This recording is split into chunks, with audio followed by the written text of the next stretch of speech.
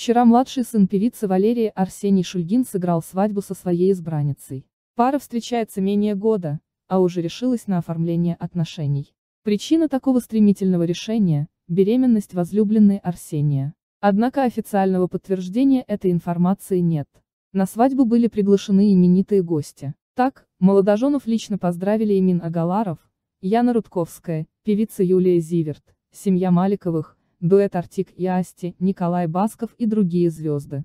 Певица Валерия не могла сдержать слез. Артистка расплакалась, когда молодожены менялись клятвами.